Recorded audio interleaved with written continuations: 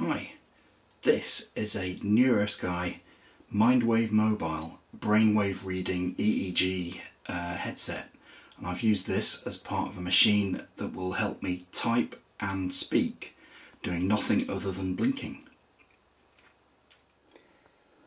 So this has an mbed microcontroller, um, a 2.8 inch 320 by 240 screen, a Bluetooth modem and a EMIC2 uh, speech synthesizer and speaker and a battery.